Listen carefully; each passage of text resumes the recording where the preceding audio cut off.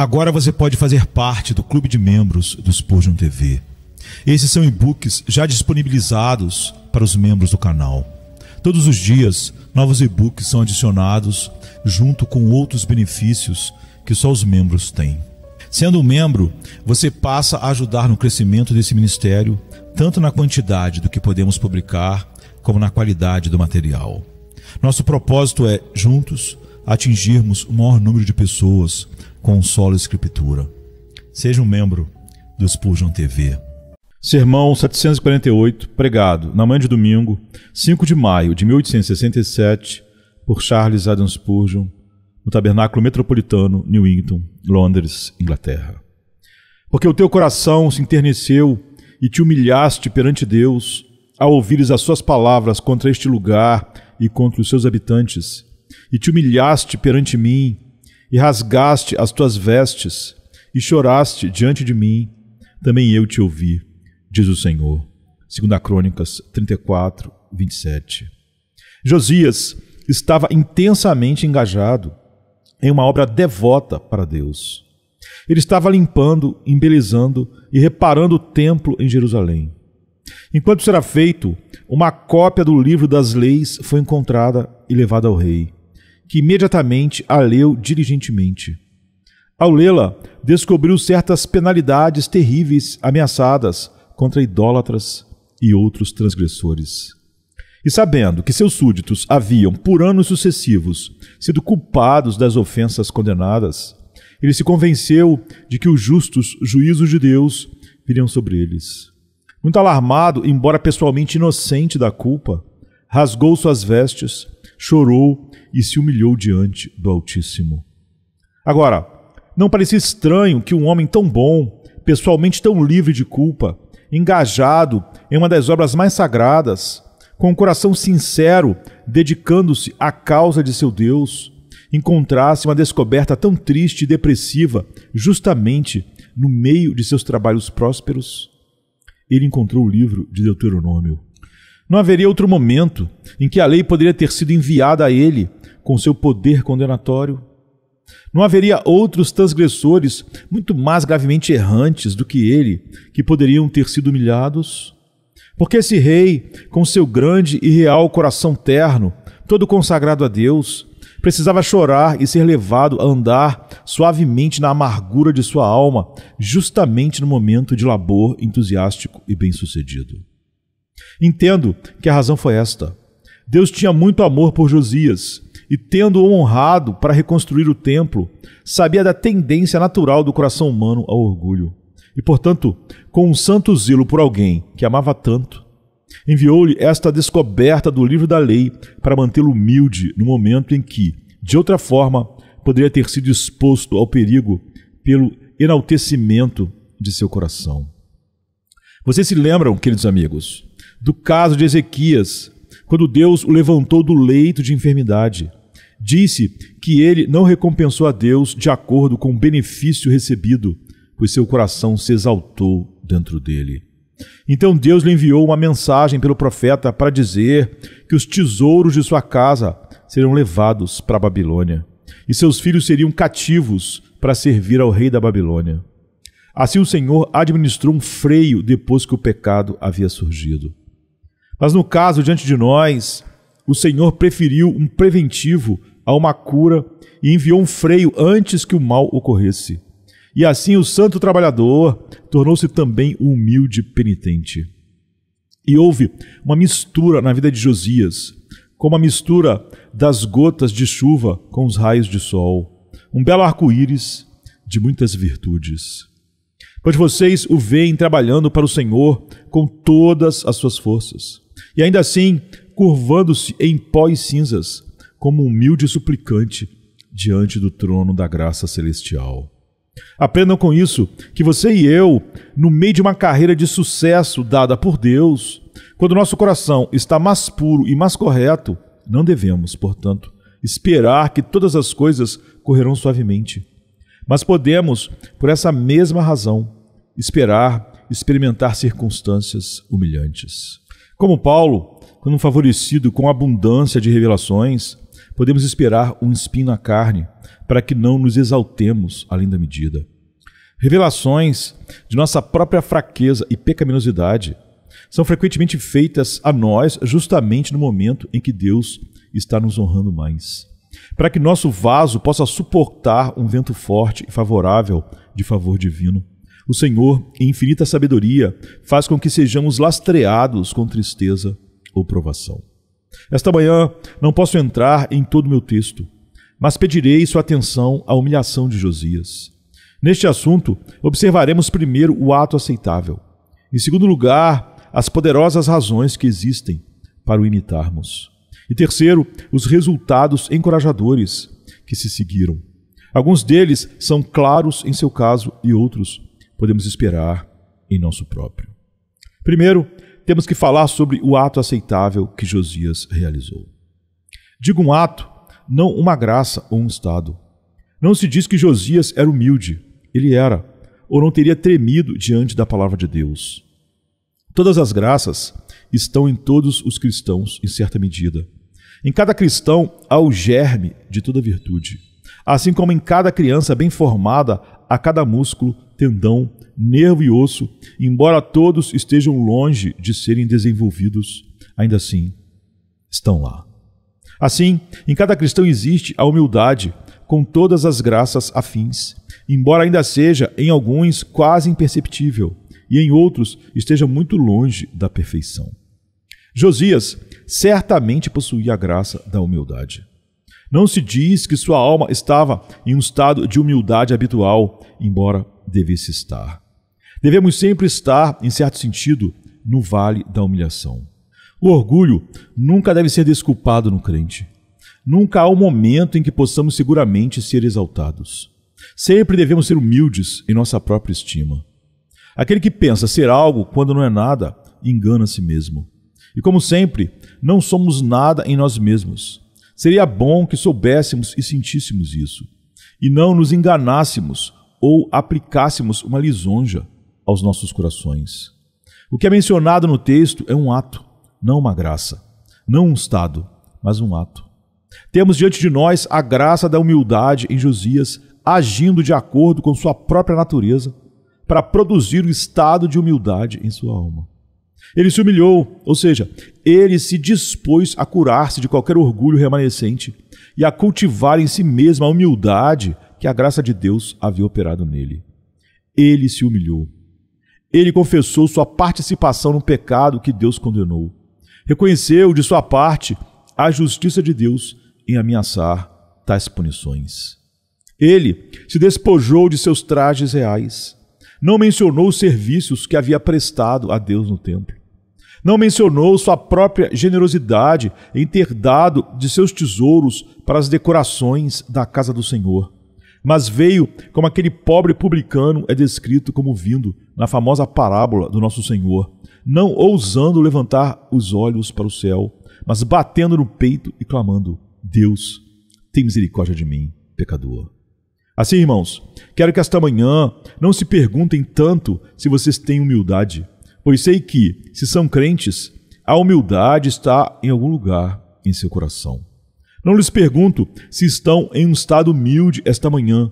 Pode ser que não estejam, mas quero que me acompanhem em um ato de humilhação, na inclinação de suas almas diante do Senhor.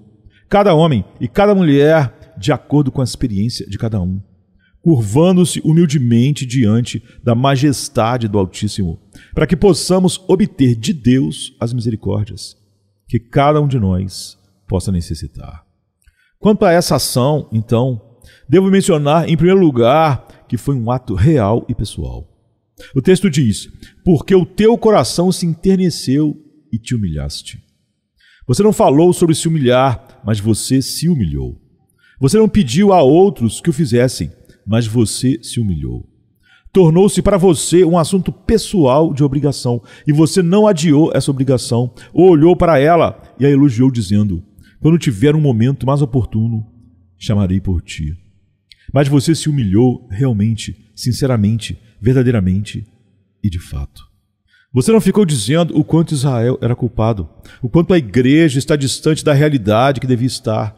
Você tomou o assunto sobre si, sobre seu coração. Você, em sua própria pessoa, prostrou-se até o pó diante do Altíssimo. Irmãos, temo que o hábito de pregar a vocês possa me levar a esquecer minha parte pessoal nisso e em outros exercícios sagrados. Ora Deus, que não aconteça. E por outro lado, é possível que vocês possam criticar o estilo em que me dirijo a vocês e assim esquecer que meu estilo não é o assunto em questão. Devemos agora respeitar uma obrigação muito solene, da qual nosso texto nos lembra. Peço-lhes que venham honestamente ao trabalho e que o Espírito Santo de Deus nos ajude e que cada um aqui esteja disposto agora a ter dito sobre si: Você se humilhou. Observem também que, assim como o trabalho foi real e pessoal, também foi voluntário. Você se humilhou. Não se diz que Deus humilhou, pelo que não se implica que a graça de Deus não o tenha ajudado, que o Espírito de Deus não tenha sido o autor de sua humildade, mas se implica que Deus não, por meio de qualquer julgamento aberto e evidente da providência, o fez ser humilhado. Você já notou a diferença entre ser humilde e ser humilhado? Muitas pessoas são humilhadas que não são humildes de forma alguma. Faraó foi humilhado, ó, quão humilhado, quando viu que até mesmo as moscas e os piolhos podiam derrotar tanto a ele quanto seus homens de armas. Quão humilhado quando ele descobriu que o Deus do céu podia enviar praga após praga sobre ele e fazer os lábios orgulhosos que diziam: Quem é Jeová para que obedeça a sua voz? clamarem: Roga ao Senhor que não haja mais trovões fortes e granizo. Ele deve ter sido humilhado, mas não era humilde. E quando as águas frias rolaram sobre ele no Mar Vermelho, ele morreu com um espírito orgulhoso, mas havia sido humilhado ao último grau. Da mesma forma, Deus pode humilhar alguns de nós. Ele pode tirar nossa propriedade e podemos ser humilhados, tornando-nos pobres. Ele pode se agradar em nos despir daquilo que agora é o objeto da nossa vanglória. E podemos ser humilhados por sua perda. Mas o dever ao qual o chama esta manhã é o de nos humilharmos antes que o julgamento venha lidar conosco. Como notem, certamente fará, a menos que atendamos ao gracioso preceito e nos humilhemos sob a poderosa mão de Deus. Todos nós devemos ou quebrar ou nos curvar. Vamos nos curvar alegremente. Beijai o filho, para que não se ire e pereças no caminho. É uma humilhação voluntária da alma que é inculcada pelo exemplo de Josias. E que o Espírito de Deus nos faça dispostos no dia do seu poder, para que voluntariamente nos humilhemos diante de Deus. Foi, além disso, um ato sinceramente devoto por parte de Josias. Ele se humilhou, somos informados, diante de Deus. É verdade que ele vestiu saco e rasgou suas vestes. E até aí sua humilhação foi aparente aos homens, mas a essência de sua humilhação foi apenas diante de Deus. É vão vestir saco e inclinar a cabeça como um junco diante dos homens, a menos que o coração se abata diante de Deus. O luto e o jejum externos não são humilhação, nem Deus importa com eles se o coração estiver ausente. Rasgai o vosso coração e não as vossas vestes.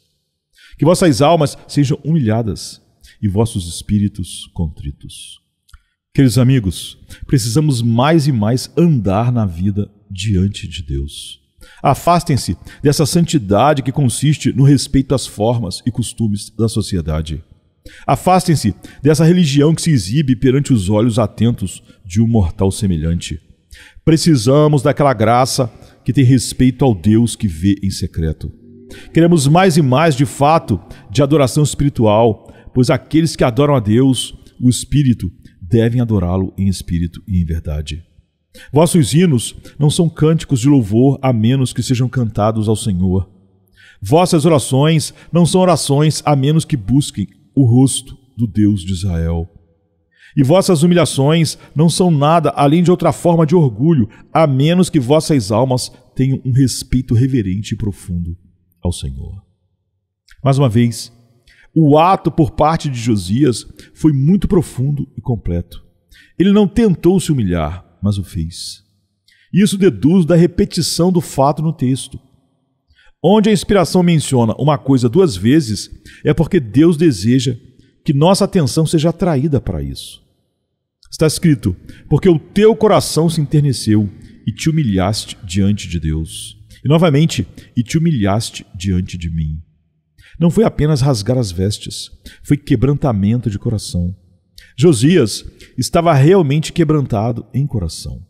Ele não lutou para se colocar onde deveria estar, mas estava lá. Ao pé do trono da misericórdia, lançou-se como um verdadeiro penitente de coração quebrantado.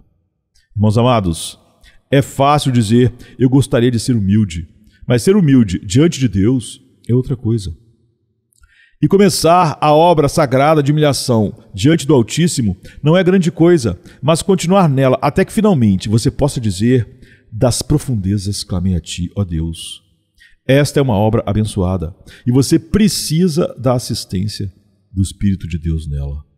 Todos nós, em certos momentos, estamos conscientes de nossa fraqueza, mas esquecemos o fato humilhante nossa humildade é como a nuvem da manhã e o orvalho da madrugada que passa. Mas ter isso incutido no espírito, até que todo o coração se torne completamente automortificado e o orgulho seja excluído e expulso, é isso que queremos. E é isso que ganhará a bênção.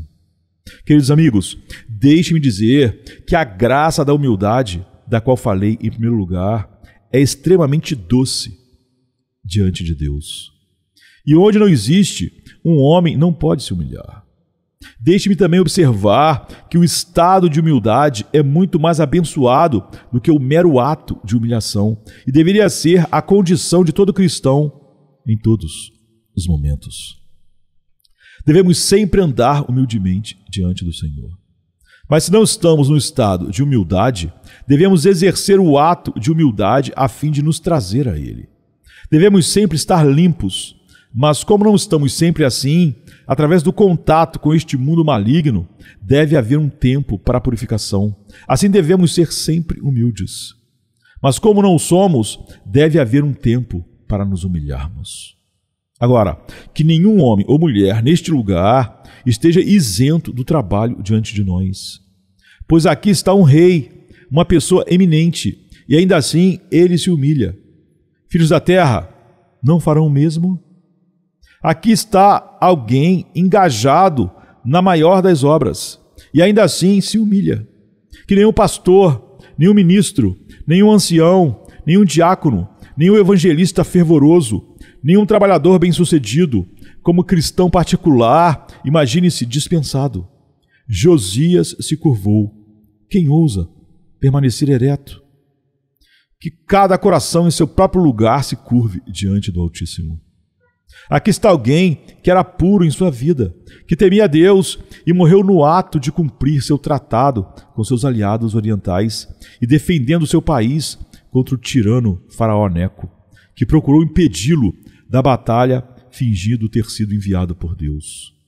Ele viveu como um santo e morreu como um rei patriota poderia desejar morrer, e ainda assim se humilha diante do Altíssimo. Oh, amigos, não percebemos que este exemplo exige de nós imitação imediata? Que o Senhor nos conduza a isso. Concedam-me sua atenta atenção enquanto dou algumas poderosas razões porque devemos realizar o mesmo ato que este registrado de Ezequias. Meus irmãos, razões para nos humilharmos são mais abundantes do que o tempo que me é permitido para instigá-las em vocês. Em primeiro lugar, um profundo senso e visão clara do pecado, sua gravidade e a punição que merece. Devemos nos fazer prostrar diante do trono. Nós pecamos, nós, nós erramos e nos desviamos de seus caminhos como ovelhas perdidas. Nós que estamos agora presentes. Pecamos como cristãos. Ai de nós que assim seja. Favorecidos como temos sido, ainda assim temos sido ingratos privilegiados além da maioria, não produzimos frutos em proporção. Quem entre nós, embora possa ter estado por muito tempo engajado na guerra cristã, não corará quando olhar para o passado? Quanto aos nossos dias antes de sermos regenerados, que Deus os apague, que sejam perdoados e esquecidos. Mas desde então, embora não tenhamos pecado como antes, ainda assim houve este agravante peculiar de nossos pecados, que pecamos contra a luz e contra o amor. Luz que realmente penetrou nossas mentes, e amor que fomos capazes de reconhecer e no qual nos regozijamos. Ó, oh, a atrocidade do pecado de uma alma perdoada. Um pecador não perdoado peca, para mim, barato comparado com o pecado de um dos eleitos de Deus, que teve comunhão com Cristo e recostou sua cabeça no peito de Jesus. Olhem, irmãos, para Davi. Muitos falarão de seu pecado, mas peço que olhem para seu arrependimento e ouçam seus ossos quebrados, enquanto cada um deles lamenta a sua dolorosa confissão. Observem suas lágrimas enquanto caem no chão e os profundos suspiros com os quais ele acompanha a suave música de sua harpa. Nós erramos, portanto, busquemos o espírito de penitência. Olhem novamente para Pedro. Falamos muito da negação de Pedro ao seu mestre. Lembrem-se, está escrito: e chorou amargamente. Não temos ofensas semelhantes para chorar. Não há negações de nosso Senhor a serem lamentadas com lágrimas. Pensem, irmãos, esses nossos pecados merecem nada menos do que o inferno mais ardente. Esses nossos pecados, antes e depois da conversão, nos consignariam ao lugar de fogo inextinguível, se não fosse pela misericórdia soberana que nos fez diferentes, arrancando-nos como tições do fogo. Não há ajuda aqui para a obra de humilhação da alma?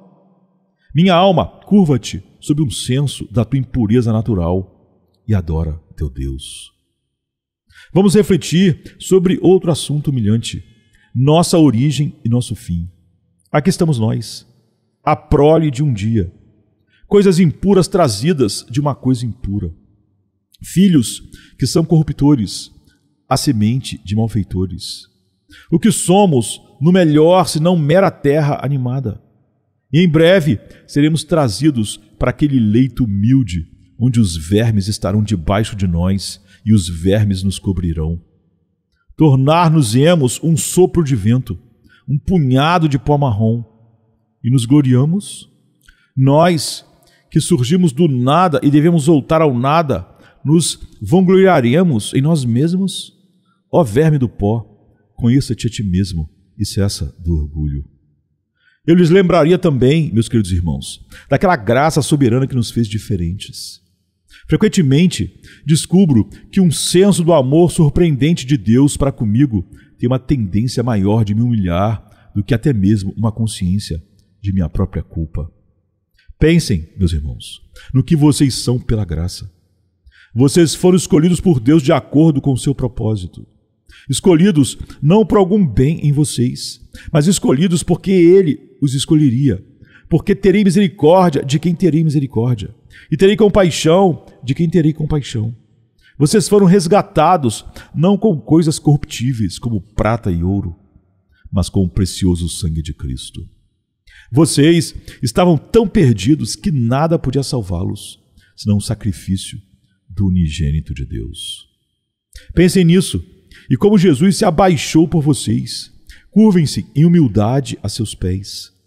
Vocês agora são filhos de Deus, favoritos dos céus, a caminho da glória, com uma herança além do rio negro, que será de vocês quando sóis e luas tiverem empalidecido sua luz minguante. Vocês habitarão para sempre perto de Deus e serão como Ele. Certamente, os pensamentos de tal bondade surpreendente farão o vaso, carregado tão pesadamente com misericórdia, afundar na água até as suas amoradas. Certamente vocês sentirão que devem bendizer e magnificar a Deus, porque não merecem a menor de todas as suas misericórdias. Além disso, peço que pensem na grandeza de Deus. Não está em meu poder, com palavras, trazer diante de vocês esse tremendo assunto. Mas se eu pudesse colocá-los na posição de Jó quando disse: Eu te conhecia só de ouvir, mas agora os meus olhos te veem. Vocês certamente acrescentariam com aquele patriarca. Por isso me abomino e me arrependo no pó e na cinza. Grande Deus, quão infinito és tu, que verme sem valor somos nós. Mais uma vez, pensem na vida e morte do Salvador. Vejam seu mestre tomando uma toalha e lavando os pés de seus discípulos. E seguidor de Cristo, você não se humilhará? Não, veja-o toda a sua vida. Não é esta sentença o compêndio de sua biografia? Ele se humilhou. Não esteve ele aqui na terra sempre se despojando, tirando primeiro uma veste de honra e depois outra, até que nu foi pregado na cruz. Então esvaziou o seu íntimo, derramando as torrentes de seu sangue vital de seu coração, entregando tudo por nós, até que o colocaram sem um tostão em um túmulo emprestado. Sua honra e seu fôlego foram ambos tirados, junto com os ímpios em sua morte, e feito tão vil quanto eles. Quão baixo foi trazido nosso querido Redentor. Como então podemos ser orgulhosos? Fiquem, meus queridos irmãos e irmãs, ao pé da cruz e contem as gotas púrpuras pelas quais foram purificados. Vejam a coroa de espinhos. Observem ainda os vestígios do escarro nessas benditas faces. Percorram a cruz e observem seus ombros flagelados, ainda jorrando com rios vermelhos. Vejam as mãos e os pés entregues ao ferro áspero, e todo o seu ser a zombaria e escárnio. Vejam a amargura, as dores e as angústias de tristeza interior, mostrando-se em sua estrutura exterior. Ouçam o grito penetrante: Meu Deus, meu Deus, por que me abandonaste? E se vocês não se prostrarem no chão diante dessa cruz, nunca a viram. Se não forem humilhados na presença de Jesus, vocês não o conhecem. Eu oro para que o Senhor nos traga em contemplação ao Calvário e sei que nossa posição não será mais a do homem inflado e pomposo de orgulho, mas tomaremos o lugar humilde de alguém que ama muito, porque muito nos foi perdoado. Contudo, gostaria de advertir o crente inexperiente quanto a este ato de humilhação. Não cometam erros sobre ele. Não confundam falsa humildade com verdadeira humildade. Há um linguajar de humildade que é infame as pessoas dirão em oração: Teu pobre pó, e usarão todo tipo de expressões depreciativas quando são tão orgulhosos quanto Lúcifer. Dirão diante do Senhor coisas sobre si mesmos que estão muito longe de acreditar, pois por sua maneira e comportamento é claro que sua estimativa de si mesmos está longe de ser muito baixa. Estão cheios todo o tempo de autopiedade, por exemplo. Há outros que pensam que a preguiça é humildade. Eles clamam: Ó, oh, eu não poderia fazer isso, eu não poderia fazer aquilo, quando poderiam fazê-lo, e deveriam fazê-lo, e poderiam fazê-lo com a ajuda do Espírito Santo. Mas evitam todo dever porque têm um senso de incapacidade e cobrem sua preguiça com o manto da suposta humildade. Moisés foi fortemente repreendido por Deus quando fez desculpas e desejou evitar entrar na grande obra para a qual o Senhor o havia chamado. Não levantemos questões com nosso Deus quando Ele nos chama a trabalhar, mas digamos: Eis-me aqui, envia-me a mim. Não caiam nessa falsa humildade miserável, mas como homens, usem toda a sua força para Jesus. Novamente, não confundam incredulidade com humildade. Espero que sou, confio que sou, expressões desse tipo cheiram muito mais a desconfiança de Deus do que a humildade de espírito, pois a melhor forma de humildade é compatível com o mais alto grau de fé. De fato, não é fé verdadeira, mas espúria a que não é humilde. E não é genuína humildade do tipo mais amável aquela que não é confiante em Deus. A fé e a humildade devem sempre andar juntas. Que a graça em vocês seja graça real e, para esse fim, peçam ao Espírito de Deus que a opere em vocês. Permitam-me acrescentar, queridos amigos, se vocês acham difícil se humilhar diante de Deus, dediquem-se mais intensamente a isso, pois quanto mais difícil é, mais vocês precisam disso. Se sua alma fosse humilde, seria fácil humilhar-se. Mas porque é orgulhosa, precisa ser humilhada. E por essa razão, acho o dever desagradável e indesejável para a carne. Mortifiquem seu orgulho, meus irmãos. Que suas almas sejam mortificadas por causa do pecado. E se vocês não podem fazê-lo sozinhos, sabem onde está sua força. voem para o forte em busca de força e terão graça capacitadora. Novamente, deixe-me dizer, para se humilharem, exercitem todas as suas faculdades. Que sua memória traga diante de vocês suas ofensas passadas. Que seu entendimento forme um julgamento adequado de sua posição como criatura, como pecador e agora como servo dependente. Seu entendimento os ajudará grandemente, pois a verdadeira humildade é formar uma estimativa justa de si mesmo. E humilhar-se é trazer-se para baixo ao lugar onde você deveria estar. Que suas esperanças e seus medos, que suas afeições e suas paixões, que todos os poderes do seu intelecto e coração concordem com isso. Que agora, diante de Deus, vocês se humilharão como Josias fez. Eu lhes dei as razões. Que Deus aplique essas razões com poder por seu Espírito Santo. Finalmente, tenho que encorajar nossos amigos a este dever por resultados encorajadores. Acho que foi Bernardo, um dos pregadores da Idade Média, que disse: Há uma coisa a ser dita sobre a humildade que nunca pode, por qualquer possibilidade, fazer mal a alguém. Se um homem passa por uma porta e tem o hábito de inclinar a cabeça, pode ser que a porta seja tão alta que não haja necessidade de se inclinar. Mas o ato de se inclinar não é prejuízo para ele. Enquanto que, se a porta for baixa e ele tiver o hábito de manter a cabeça erguida, pode entrar em contato brusco com o topo da porta. A verdadeira humildade é uma flor que adornará qualquer jardim. Este é um tempero com o qual você pode saborear cada prato da vida. E você encontrará uma melhoria em cada caso. Seja oração ou louvor, seja trabalho ou sofrimento, o sal da humildade não pode ser usado em excesso. Mas há vantagens positivas relacionadas a ela, pois, em primeiro lugar, a humilhação frequentemente afastará o julgamento. Quantas vezes na história dos israelitas, quando foram entregues a seus inimigos, humilharem-se imediatamente expulsou os invasores e os libertou do flagelo? Talvez alguns dos casos mais notáveis que posso citar sejam os de homens ímpios, pois seus casos mostram o poder da humilhação com Deus, onde não há nada mais para agir sobre ele. Roboão havia estabelecido uma adoração falsa e fez o mal aos olhos do Senhor. Portanto, Deus se irritou com Roboão e com Judá. E Sisaque, o rei do Egito, subiu e devastou Judá, estava prestes a capturar Jerusalém. Mas lemos que Roboão e Judá se humilharam diante de Deus, e o Senhor disse que Sisaque não tocaria Jerusalém. E além disso, o Senhor visitou a terra com favor e disse: Também em Judá as coisas correram bem.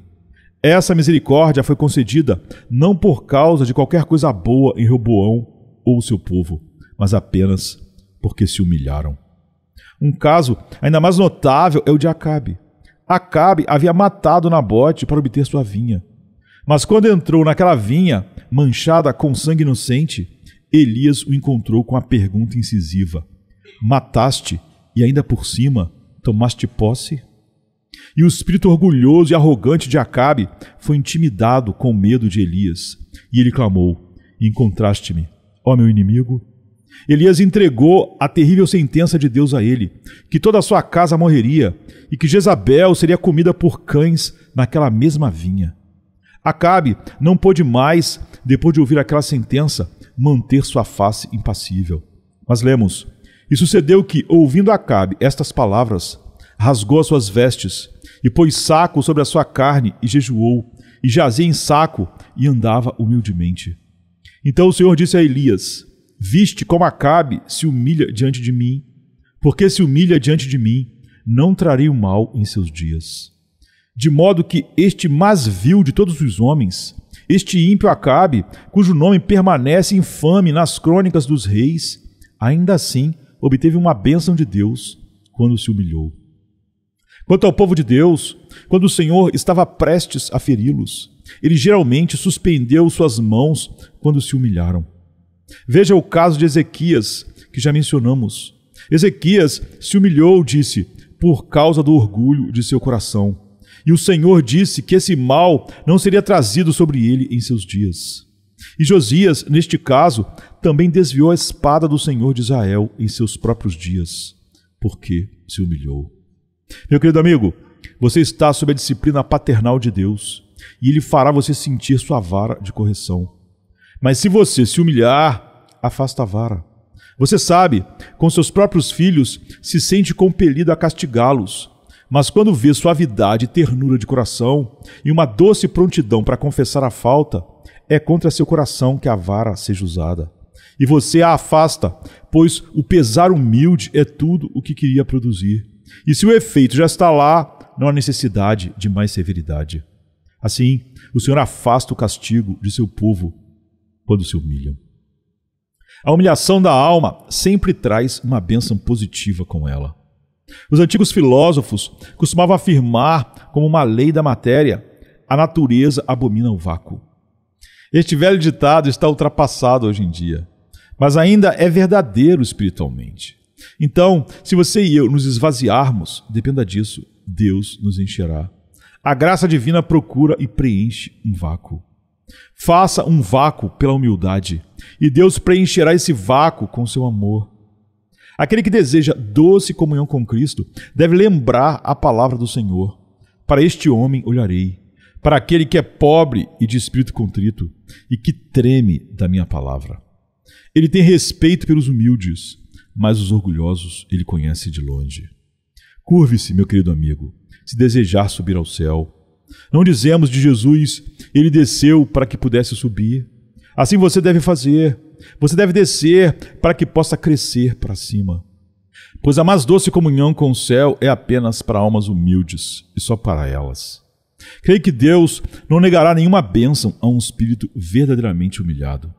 Bem-aventurados os pobres de espírito, pois deles é o reino dos céus, com todas as suas riquezas e tesouros.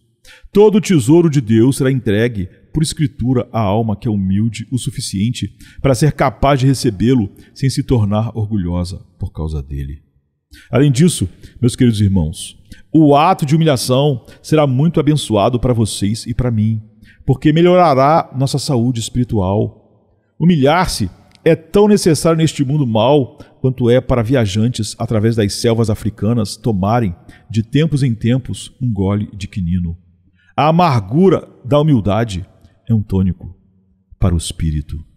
Não conheço homem que seja tão corajoso diante de seus semelhantes como aquele que se curva diante de seu Deus. Meu joelho se dobrará a Deus e somente a Deus. Mas se meu joelho nunca se dobra a Deus, podem ter certeza de que logo se dobrará quando eu não quiser que o faça. Ele tremerá diante da face do homem. Se você teme a Deus com um temor profundo e poderoso, não temerá ninguém mais não temerá nossa cultura degenerada. Você deveria ser capaz de dizer diante de um tirano feroz como Nabucodonosor, com os três santos jovens: Seja conhecido de ti, ó Rei, que não serviremos aos teus deuses, nem adoraremos a imagem de ouro que levantaste. O temor de Deus é a morte de todo outro temor. Com um leão poderoso, ele afugenta todos os outros temores diante dele. Nada torna um homem tão vigoroso e forte, com exceção da fé, como a humildade. E mesmo a fé não pode ser forte onde a humildade é fraca. Mais uma vez, a utilidade será promovida pela humildade. Há alguns professantes a quem Deus não pode abençoar, porque se tornariam intoleravelmente orgulhosos se fossem abençoados. Ouvi um querido irmão dizer que acreditava que Deus nos abençoava até o limite pleno e extremo do que era seguro para ele fazer. E creio que ele faz. Se você não recebe uma bênção, é porque não é seguro para você tê-la. Se nosso Pai Celestial permitisse que você fosse bem-sucedido em sua santa guerra, você fugiria com a coroa para si mesmo. E encontrando um inimigo, cairia vítima. E assim, você é mantido baixo para sua própria segurança. Quando o homem é sinceramente humilde e nunca ousa tanto quanto tocar um grão de louvor, há quase nenhum limite ao que Deus fará por ele. A humildade nos torna prontos para ser abençoados pelo Deus da graça e nos prepara para lidar com nossos semelhantes. Todos se afastam o máximo possível de um homem orgulhoso. Confesso que tenho grande prazer em ver homens orgulhosos quando mal posso discerni-los com um poderoso telescópio mas perto do que isso seria muito menos agradável. Mas nos importamos com o quão perto chegamos de espíritos gentis e mansos, pois esses são companhia para anjos. Espíritos orgulhosos não gostam de lidar com grandes pecadores. Afasta-te, sou mais santo que tu. Não é a linguagem para um homem que seria útil. O que pensam? Um fariseu faria o missionário urbano? Olhem para o cavaleiro refinado, inchado de alta importância. Que pregador útil ele seria, não seria? Enviem-no atrás das pobres garotas perdidas em reuniões noturnas. Melhor enviar um pavão. Afasta-te, sou mais santo que tu. Ora, o homem que sente assim está fora de lugar no serviço de Deus. Está mais apto a fazer-se lacaio das vaidades do mundo do que falar em ser um soldado da cruz. Assim como o excesso de orgulho incapacita, também uma abundância de humildade de espírito o preparará para qualquer tipo de trabalho cristão ao qual o Espírito Santo possa chamá-lo. Vamos nos humilhar então, queridos amigos, para que Deus possa nos exaltar em tempo oportuno, dando-nos ver o resultado de nosso trabalho. Não sei como pleitear mais, mas recomendo ao Espírito Santo para cumprimento do meu desejo profundamente ansioso para mim mesmo e para vocês, meus irmãos na fé comum, que todos possamos ser levados como Josias a nos humilharmos diante de Deus. Ainda há uma palavra que desejo falar àqueles que não são salvos. Não lhes digo, comece humilhando-se. Sua esperança está em Jesus Cristo. Olhai para mim e sede salvos todos os confins da terra. Esse é o Evangelho. Sua salvação não está em você, mas em Jesus. Ao mesmo tempo, um espírito humilde e contrito será um caminho muito pronto para levá-lo a Cristo, e, portanto, suplico-lhe que cultive esse espírito. Há uma história narrada na história clássica de Augusto César que um pirata muito problemático havia destruído muitos navios romanos. E, portanto, César, tendo caçado em vão por algum tempo, ofereceu uma recompensa de 10 mil talentos pela cabeça do pirata. Agora, o pirata, sabendo que o caso era sem esperança e talvez um pouco arrependido, veio ele mesmo diante de César e, colocando sua cabeça no pó diante dele, disse: Dez mil talentos. Eu trouxe a cabeça do pirata.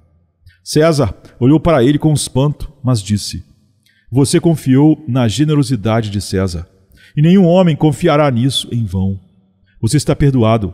Aqui estão também os dez mil talentos.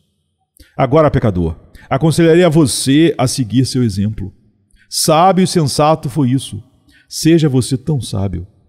Deus terá sua cabeça, ou seja, sua alma. Mas vá você mesmo com ela. Submeta-se. Após aquele mau dia de maio em nossa história inglesa, quando os aprendizes haviam causado tantos danos destruindo as casas dos estrangeiros e queimando-as em um motim, uma comissão se reuniu para julgá-los e vários deles foram convocados para o Guildhall. Mas quando apareceram com cordas no pescoço, confessando que mereciam ser enforcados, um perdão gratuito foi concedido a muitos deles. Venha, pobre alma, o Senhor nunca o erguerá na forca se você colocar a corda em seu próprio pescoço. Se você trouxer a sua própria cabeça, ele nunca a tirará de seus ombros. Venha como está, confesse o erro e confie na liberalidade de Deus em Jesus Cristo, e não o achará falho. Vocês orgulhosos que são autossuficientes perecerão, mas vocês que são humildes, confiando em Jesus, serão salvos. Ali está o navio afundando. A embarcação está afundando rapidamente e vejo dois homens igualmente ansiosos pela vida. Um deles veste suas roupas, pesadas com bordados de ouro, carrega-se com joias, enche seus bolsos com seu tesouro e sua prata e pula no mar. Vocês sabem o que acontecerá com ele. Ele se sobrecarregou para a destruição.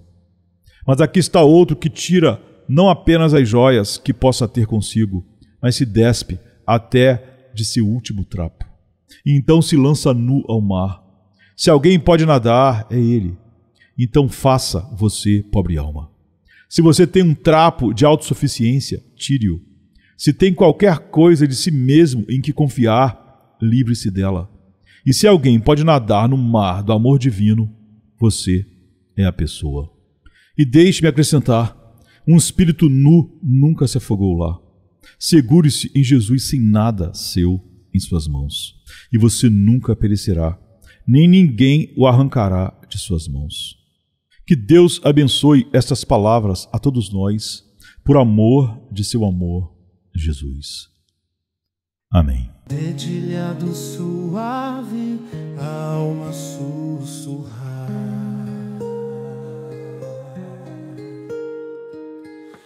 Lembranças ecoam, começam a falar.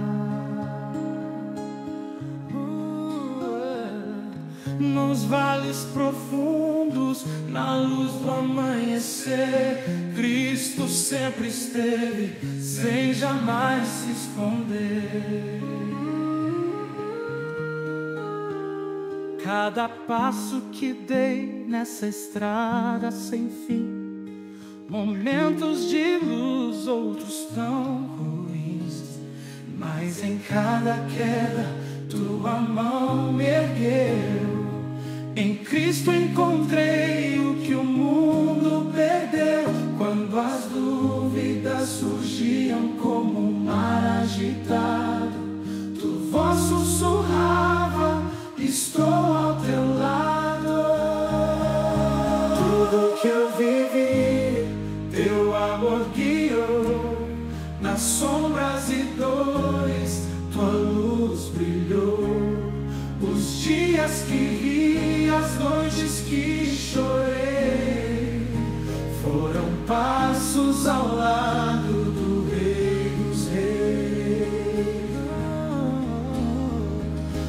ventos que vieram me fizeram lutar mesmo nas tormentas pude te encontrar.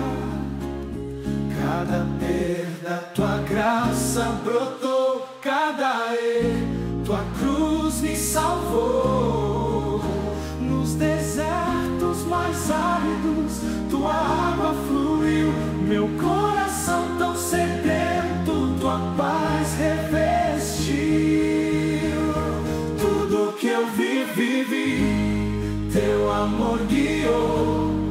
nas sombras e dores, tua luz brilhou. Os dias que ri, as noites que chorei,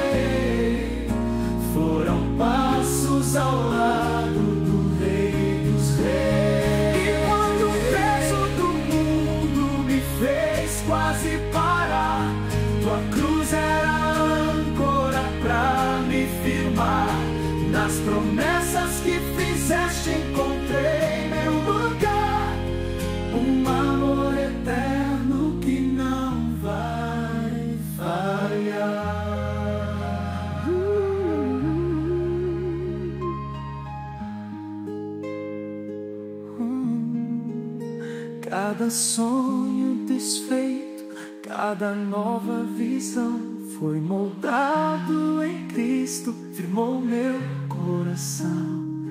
Mesmo na fraqueza, tua força encontrei, e ao fim da jornada